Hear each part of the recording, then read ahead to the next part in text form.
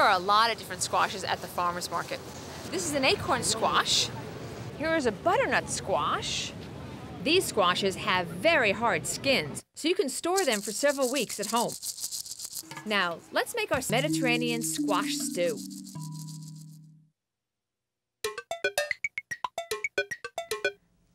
Let's start off with the butternut squash that I got at the farmer's market. For this recipe, we're only going to need half. Cut it right in half again, much easier this time. And scrape it clean. Peel the outside of the butternut squash with a peeler. Cut the squash into one half inch cubes. There you go. About one half of a butternut squash will give you about three cups of cubed squash. Let's put together the sauce now. I have about one and three quarter cups of diced tomatoes, and that equals one can of diced tomatoes.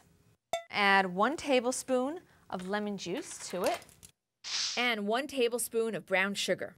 Okay, that's one teaspoon of mustard, one teaspoon of oregano, and a teaspoon of salt. I'm going to mix that all together.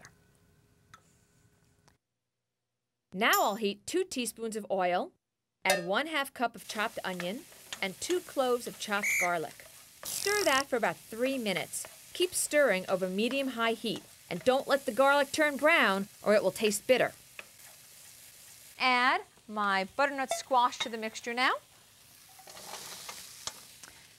And then my sauce. Put the lid on and keep it on a medium-high heat and let that cook for 15 minutes.